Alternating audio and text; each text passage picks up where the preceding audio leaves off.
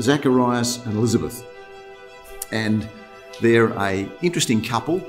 Um, some very good lessons that come out of their lives. And it's just amazing, I think, when we look at the scriptures, particularly in this case it's Luke, how careful the words are chosen about these, this couple and about the circumstances that they lived in.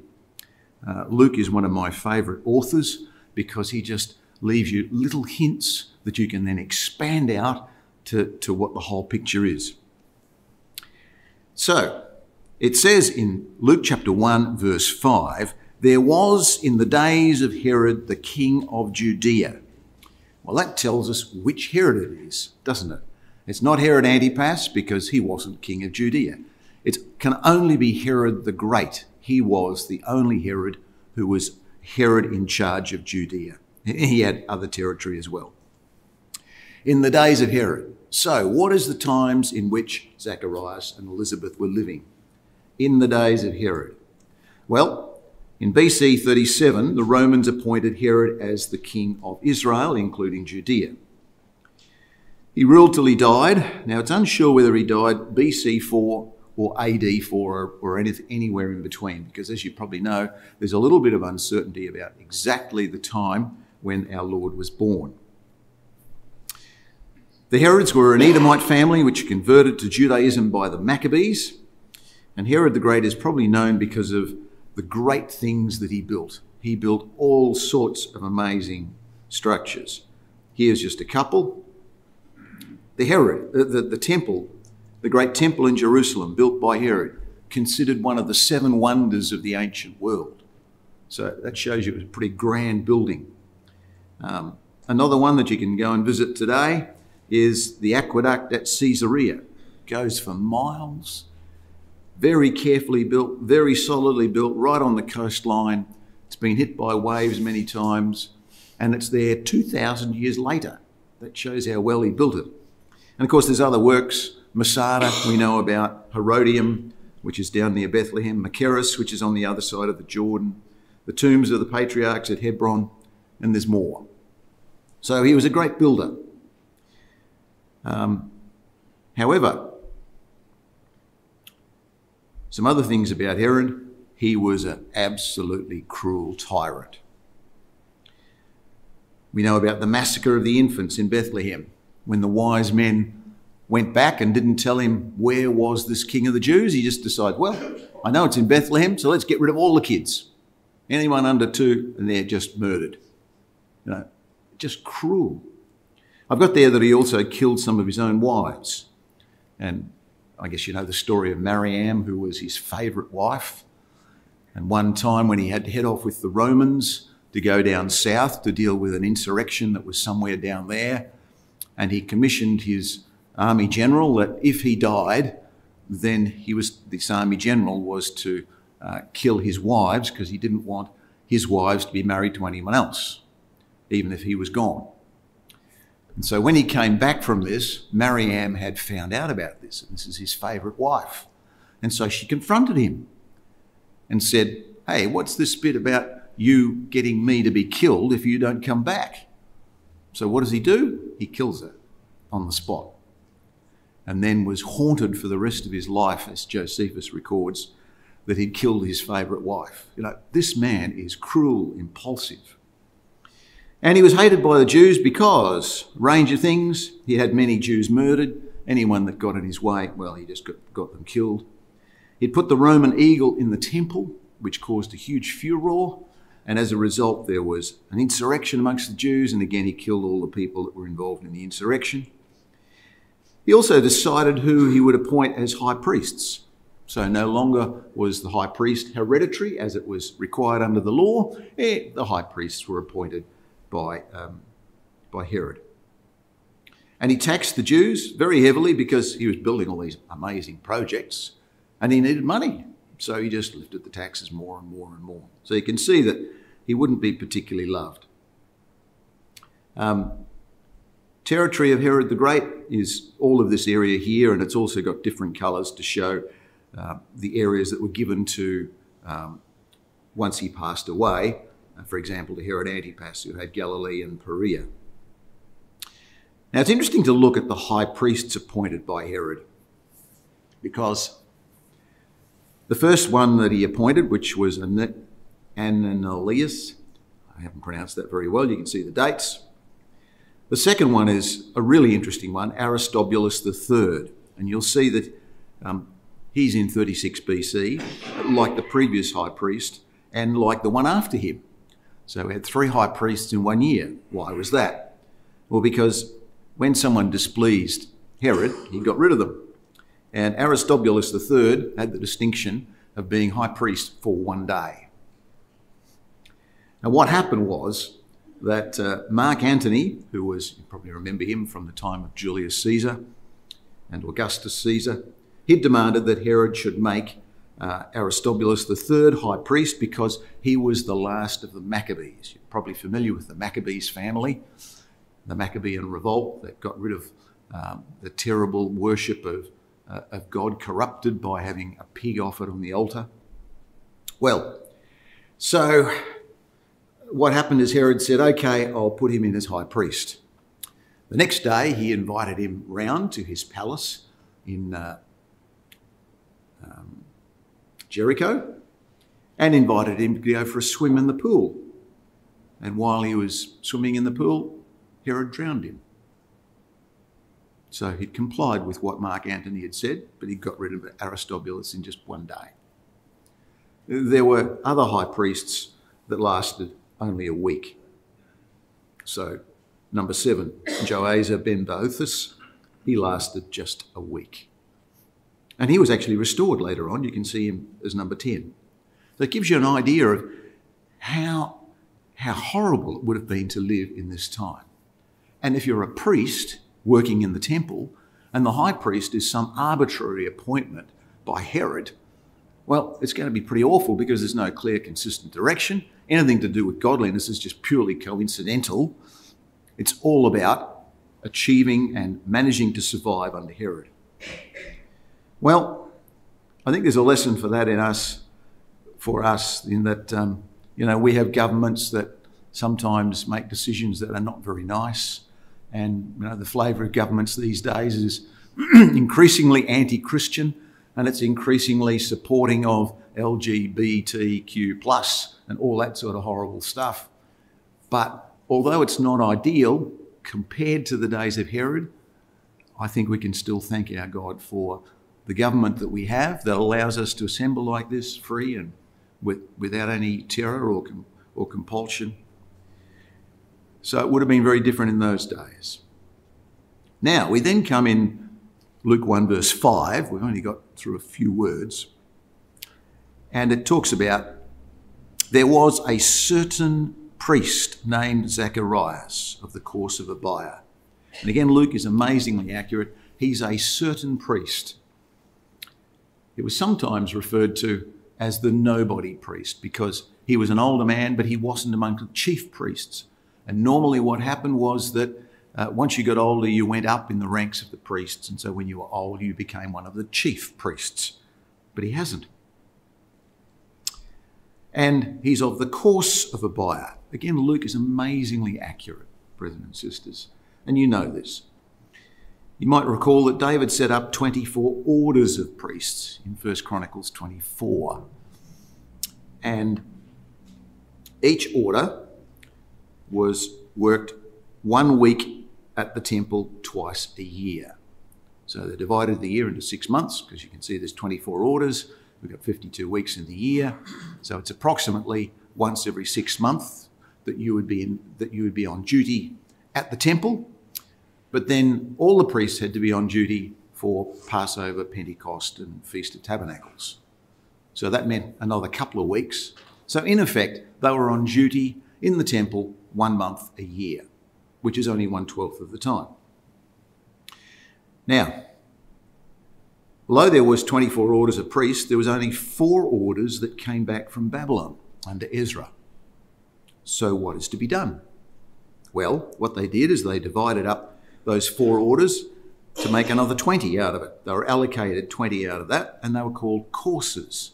So if you were a course of someone, You weren't, didn't actually belong to that family, but you'd been, if you like, um, put in to fill the void of the, the orders that hadn't come back. So, you know, I think that's just another indication of the exactness of Luke. Everything he gives, he gives the right name. You notice in the Acts, when he gives titles to those who are in power, he always chooses exactly the right, um, the right titles because he's very careful. And of course, the lesson out of that is Luke uses exactly the right word for the course of Abia. It's just another example of the evidence that we can trust the exactness of the scriptures. Now, I don't know about you, but I find these things encouraging when time after time you find that here is another incidental proof that the scriptures can be relied upon. We can place our whole trust that this is undoubtedly the word of God. Well, another dimension to uh, Zacharias, he's a priest. And there was very grand ceremonies that they did in Herod's temple with the priesthood. Um, this is one. Of, this is a, taken from a, a, book that's a very interesting book on Herod, on the, the, temple, as it was called, the Second Temple by the Jews. Um, you can see the grandeur that there that is there, with them all dressed the same, great ceremony happening. The externals look good, but the chief priests were absolutely corrupt. They extracted money from the temple. You know those big donation box that, boxes that they had in the treasury at the temple? And they took a cut out of that there was some for the temple, but they felt they were entitled to have their own cut. So there was a reward then for becoming promoted to become one of the chief priests. You got to get this extra income stream. Uh, and there were, as you're probably aware, a large number of priests. Josephus says there was 20,000 priests. That's a lot of priests and most of the priests lived in Jerusalem or Jericho. You might think, why would most of the priests live there? Well, the reasons are Jerusalem, well, the temple's there. The chief priests are all living there. So if you want to get on your, in your career as a priest, you need to be in Jerusalem. And quite a number of the priests, according to Josephus, had a house in Jerusalem and another house in Jericho. Why would you have another house in Jericho? A couple of good reasons.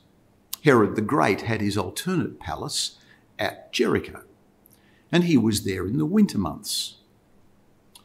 Why Jericho? Because in the winter, Jerusalem it snows, and while it's snowing in Jerusalem at Jericho, it can be a, balmy 20 degrees because it's sort of a subtropical environment there. It's rather unique. So the priests enjoyed life. Jerusalem is a much nicer place to be in in summer because it doesn't get quite as hot as other places. But in winter, you want to be at Jericho. And also, you get the benefit of being able to cozy up to Herod. You know, it's, it's just such a corrupt system, isn't it? Now, this is an artist's impression of the Herod the Great's um, winter palace in Jericho. Now, so most of the priests are in Jericho or Jerusalem. But when you look up the Levitical uh, cities that were appointed by Joshua, they shouldn't have been there. Joshua 21, verse 3 And the children of Israel gave unto the Levites out of their inheritance at the commandment of Yahweh these cities and their suburbs. And this map has got the, the cities of the priests. And if we zoom in into this area here, we can see where the priestly cities were. Now you can see that there's priestly cities like uh, Hebron, Jerusalem's there, but it's got a, a, black dot because it's not a priestly city. Down the south in Judah, we've got Juttah, Eshtemoa, Jattir, and, and they're the, the, the priestly cities there. Now, where is Zacharias? Well, we know where he is. Because when Mary goes down to go and see Elizabeth, it says in chapter 1, verse 39 of Luke, and Mary arose in those days and went into the hill country with haste into a city of Judah and entered into the house of Zacharias and saluted Elizabeth. So, where are they living? Zacharias and Elizabeth? They're living in the hill country of Judah. So, you can see where that is. So, they're either in Hebron or Jatta or Eshtemoa or Jatta. They're not in Jerusalem. They're not in Jericho. Why are they there? Because they're doing what God says. They're at the place God says they should be at. Now, wouldn't that be hard? That would be a hard decision to say, well, that's where we ought to be, because that's where the Bible says we ought to be. And that's going to be a very career limiting move for him, isn't it? But it shows that they were very genuine in their belief, doesn't it? I think I might have got ahead of myself. I have. So this is the area that's I've just referred to there. So a lesson for us. Zacharias made big decisions involving personal sacrifices. He chose to live in the hill country of Judea because he was doing what God wanted. And sometimes in our lives, we have to make big decisions like that too. Choices, whether they're careers or where we live, etc. Um, because we make those choices so that we can be with the ecclesia, so that we can be doing the things of God and not necessarily progressing in this world. So, back in, uh, in Luke 1, we come to the next verse. We're not making much progress, but we will make more progress in a moment. Verse 6. Luke says, Oh, I didn't finish off verse 5.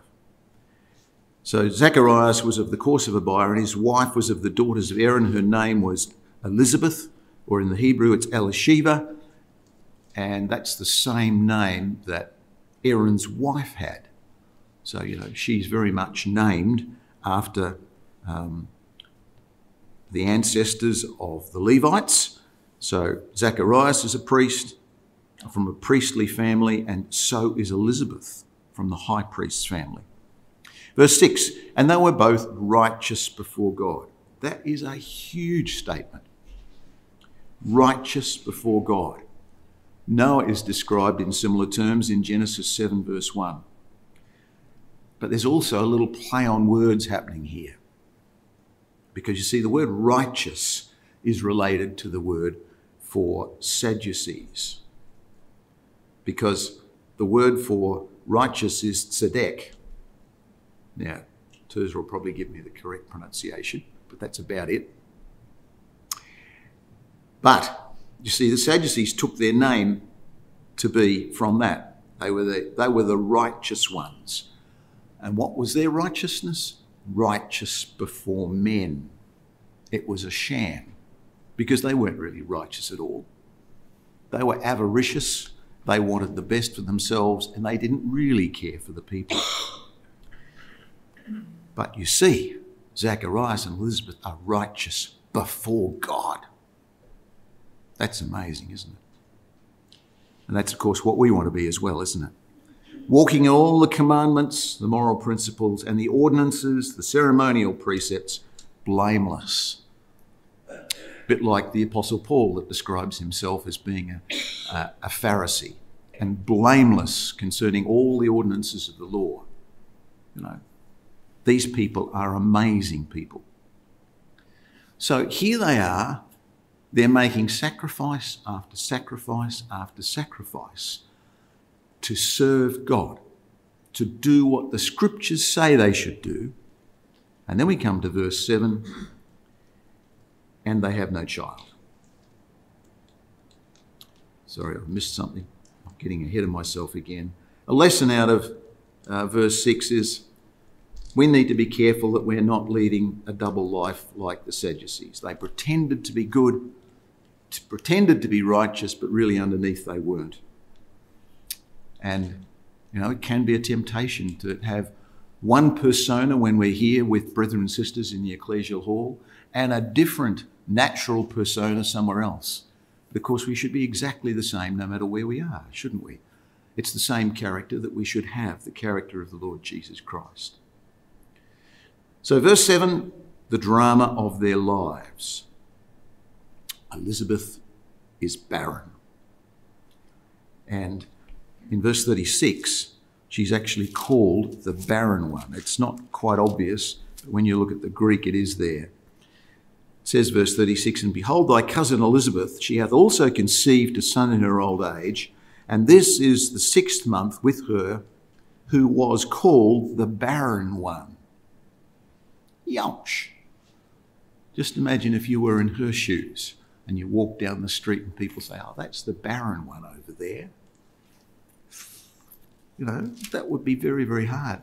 Here she is, an older sister, and that's been happening all her life. Now we know that they'd prayed for children in verse 13 because we're told, the angel says, Thy prayer is heard, and thy wife Elizabeth shall bear thee a son. So they'd been praying. When we look at it, there's actually quite a number of sisters in the Bible that are barren. And here's some of them. So Sarah was barren, Rebecca, Rachel, Manoah, Manoah's wife, I should say, Hannah, and of course we've got Elizabeth. Were any of these not godly? They were all godly, weren't they? So why does God do this? It's about character development, isn't it? In many cases, they were given children through prayer or angelic visitation, weren't they? In the case of Sarah, it was angelic visitation, wasn't it? Just like it is in the circumstances of Elizabeth. So, to be childless in those days was a stigma that was to be borne. It was part of, if you like, enduring, enduring the difficulties of life, but still maintaining a faith and trust in God. So, it would have been pretty easy to be resentful to God in the case of Elizabeth and Zacharias. Here they are, they're making tough decisions to be godly people. They're choosing to live where they should be. Zacharias is doing the work of a priest in the temple when he should have been a chief priest.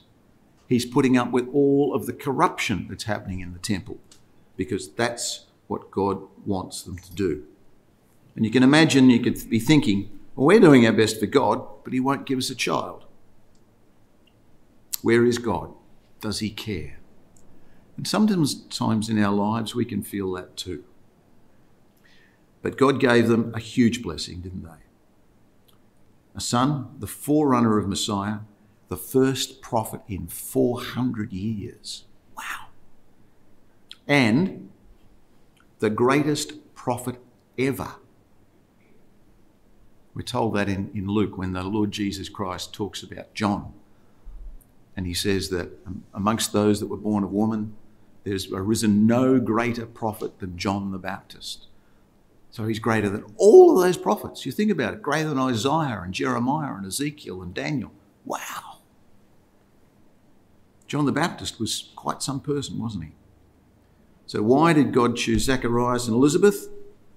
Well, I think that is the the answer to that unfolds in the story. Lesson for us when troubles come in our life, are we resentful to God? As Christadelphians, we can sometimes slip into that mode of thinking because here we are working in the ecclesia, we're trying to do the things of God, and things happen to us. Hard things happen to us. Terrible things sometimes happen to us. And we can think, why, why, why God, are you doing that to, to people that are trying? Well, of course, we know the answer, don't we? we? We need to remind ourselves of the answer that what God wants in us is tried faith.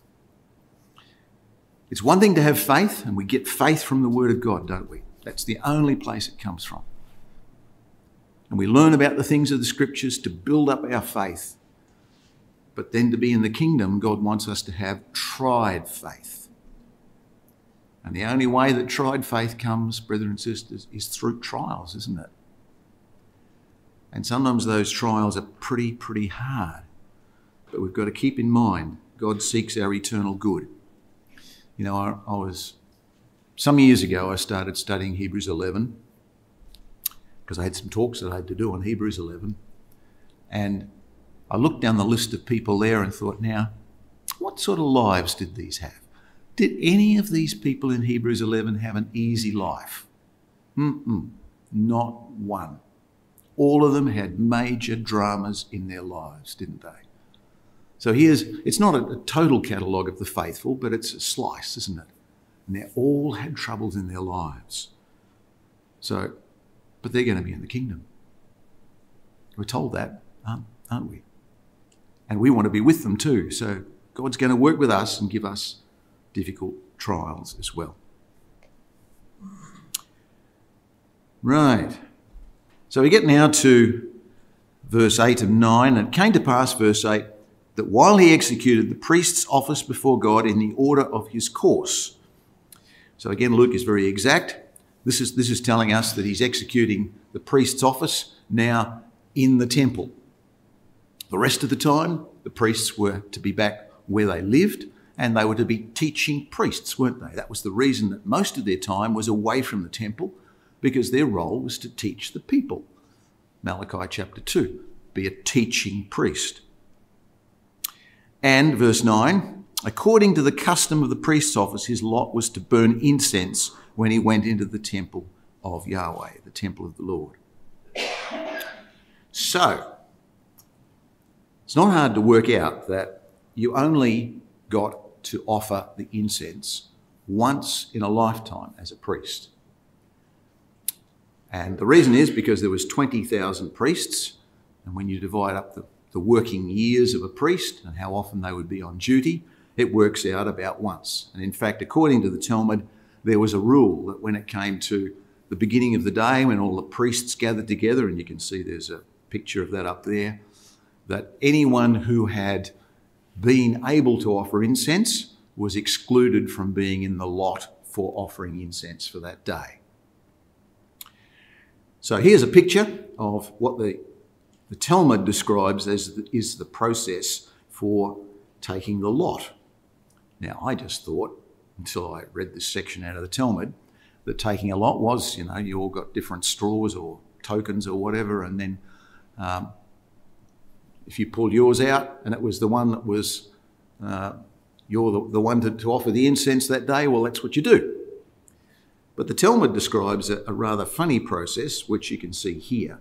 You can see all these fellas holding up fingers. And apparently, the man out the front, who was a chief priest, would say, Right, everyone ready? Okay, what I'm going to do is I'm going to call out a number, but I want you to put your hands up first. And when I call out a number, the person whose fingers match the number, so it's a number between 1 and 10, um, then they're the one that offer the, that is gets the lot to offer the incense. It's a bit bizarre, isn't it? But that's apparently the way it works. So you can see all these fellas with different fingers up, and the man out the front's pointing to someone, and so it's your turn this time. So this would have been quite an experience, wouldn't it, to be selected to be the one. You didn't know in advance, it just happened on that morning. And they were apparently up quite early in the morning. They were, all of this was done sort of between 5 and 6 a.m., very early start to the day. So the lot is taken, and suddenly Zacharias, after all of these years, he's now an old man, is going to offer incense. This is apparently the greatest thing that you could aspire to as an ordinary priest. So he's going to do it. Just imagine how excited he would have been. So he goes in to offer incense. And it says, um, verse 10 And the whole multitude of the people were praying without at the time of incense, which, by the way, is just another proof that incense is a symbol of prayer. Psalm 142. And it says, verse 11, And there appeared unto him an angel of Yahweh, of the Lord, standing on the right side of the altar of incense. So we tried to depict that with a bit of photoshopping and etc., uh, etc. Et so you can see Zacharias is there. He's in front of the altar of incense and the angel appears on the right hand side. First angelic appearance in 500 years. The last time we have a recorded instance of an angel appearing is at the time of Daniel. Wow. This is a very special occasion, isn't it? And what does the angel say? He prophesies of the birth of um, John the Baptist. Verse 12 And when Zacharias saw him, he was troubled and fear fell upon him. If you do a study on the angels, you find that that's a very common reaction of human beings. That when they're confronted with an angel, they're fearful. And you can imagine that, that I can imagine that being the case for me too. All of a sudden, someone appeared, and you think, wow, but also they're impressive. Often they're, it's recorded they're radiating with light. Think, wow, this would be something. And the angel says unto him, Fear not, Zacharias. And that's often what angels say at the beginning to the person they're appearing to. Fear not, for thy prayer is heard, and thy wife Elizabeth shall bear thee a son, and thou shalt call his name John. And we go through all the detail that uh, was read for us by uh, Brother Barry. Verse 14 and 15 and 16 and 17, talking about what John will do, and he'll go before him, that is, before Messiah, in the spirit and power of Elijah. And I think this is talking about the spirit and power of Elijah, Elijah after Mount Carmel. You know, when you do a study on Elijah, it's amazing. You see Elijah before Mount Carmel, and he thinks, I'm the only person left, doesn't he? He comes to, to, to Mount Sinai and says to God, Look, uh, no, th- this is really terrible. You need to do something about Israel because I, even I, am only, the only one left. But after Mount Sinai, it's a different Elijah because he's told by God that there's 7,000 who haven't bowed the knee to, to Baal. And he's out there and he gets Elisha and they set up all these little schools of the prophets all through the land. So all of a sudden there's quite a few more. And it's, the, it's then we see a different Elijah, a softer Elijah with Elisha, who turning the hearts of the fathers to the children. And that's what's prophesied in Malachi chapter 4, isn't it? That when Elijah comes at the time of the return of the Lord Jesus Christ to the Jews, that's what he's going to be. He's going to turn the hearts. He's going to be a, a more understanding man. So, wonderful little prophecy. And Zacharias, verse 18, says unto the angel, Whereby shall I know this? For I am an old man and my wife well stricken in years. He doesn't believe it. he doesn't believe the angel. And the angel says, angel knows that. Verse 19, the angel answering said unto him, I am Gabriel that stand in the presence of God. Verse 20, thou shalt be dumb and not able to speak, because thou believest not my words. Goodness me. So that tells us that the angel can read Zacharias' mind. Because when you look at Zacharias' answer to the angel, it's almost the same as what Mary says to the same angel Gabriel. So where's the difference? You have a look at verse 34. After Gabriel has appeared to Mary, then Mary said unto the angel, How shall this be, seeing I know not a man? That's quite similar to saying, as Zacharias says, Whereby shall I know this? For I am an old man and well stricken in years.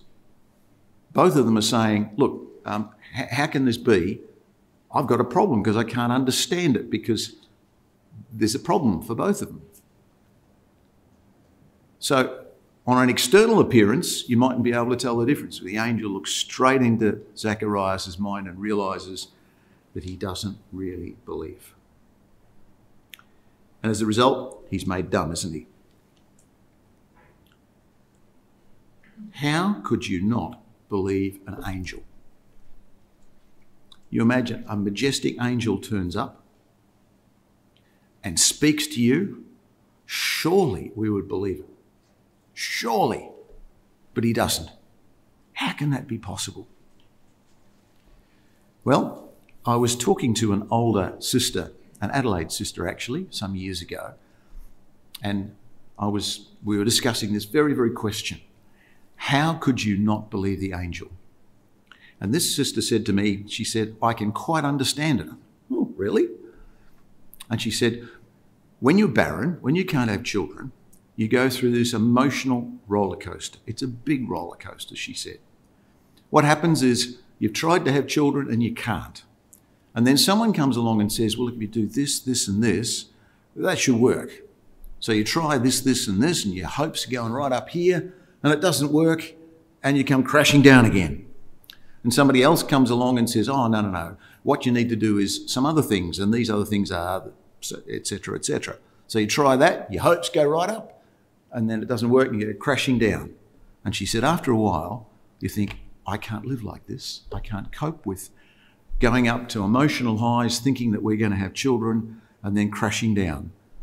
So, what she said to me is you just develop this approach where you're refusing to let any hope come into your life because you can't bear the thought of going through another emotional collapse.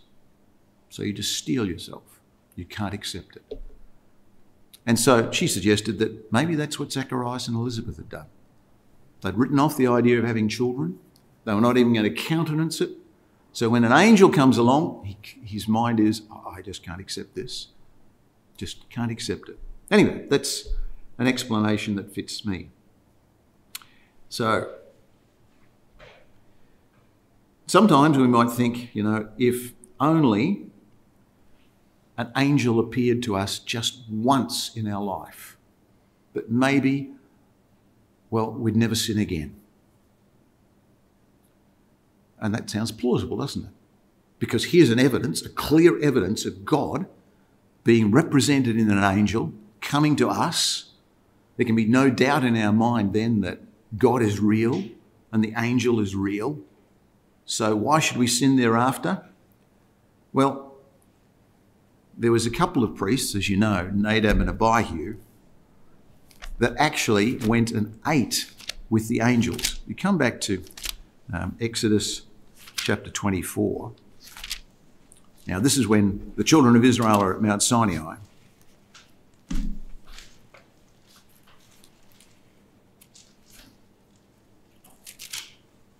Exodus 24, verse 9. Then went up Moses and Aaron, Nadab and Abihu, and the 70 elders of Israel. So they're going up on Mount Sinai. Verse 10 And they saw the Elohim of Israel. They saw the angels and there was under his feet, as it were, the paved work of a sapphire stone, as it were, the body of heaven in its clearness. Upon the nobles and upon the children of Israel he laid not his hand. Also they saw Elohim and did eat and drink. So had a meal with the angels. How about that? Wouldn't we just love that? Have a meal with the angels, to talk with the angels, to get an insight into their thinking to get instruction from them to us. That'd be a fabulous opportunity, wouldn't it? You'd think you'd never sin ever again. But it didn't work for Nadab and Abihu, did it?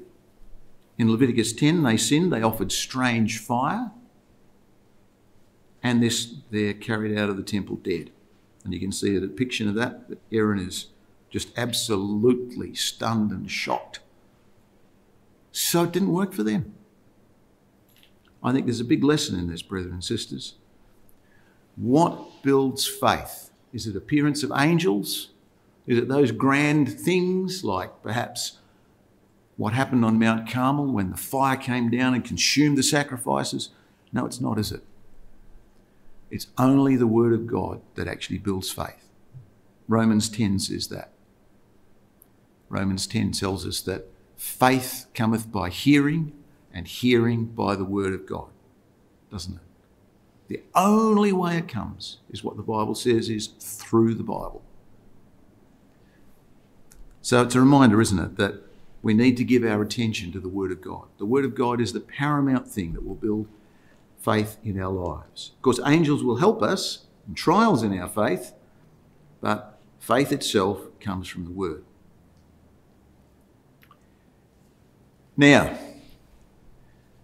we get to the bit where Zacharias, sorry, where Mary goes to visit um, Elizabeth in Luke chapter 1. Now, we're skipping over briefly um, what happens with the angel turning up to Mary. So we find that it says that Mary and Elizabeth are cousins. The angel Gabriel says to Mary in verse 36 And behold, thy cousin Elizabeth, she hath also conceived a son in her old age, and this is the sixth month with her who is called barren. So they're cousins. Now, I tried to work this out uh, because some of the commentators say it just means some form of relative. I don't get that. So this is how I think that it worked that there was, in fact, common grandma, grandfather and common grandmother for Elizabeth and Mary. So just to try to resolve it and to work it out, I, I don't like it when I can't figure things out and get them all organised and put in pigeonholes, etc. Now,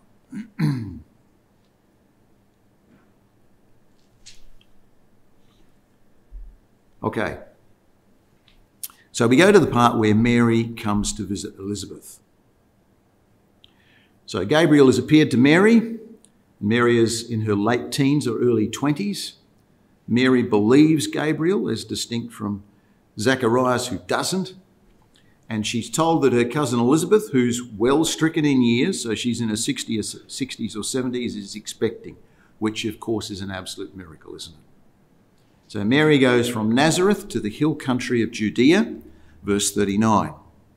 And we looked at that before. That's where Zacharias and Elizabeth are living because they're living where God put them to be. Now, look at what Elizabeth says when Mary comes in. Whence is this to me? This is verse 43. Whence is this to me that the mother of my Lord should come unto me? The ESV. And why is this granted to me that the mother of my Lord should come to me? What an amazingly humble sister is Elizabeth.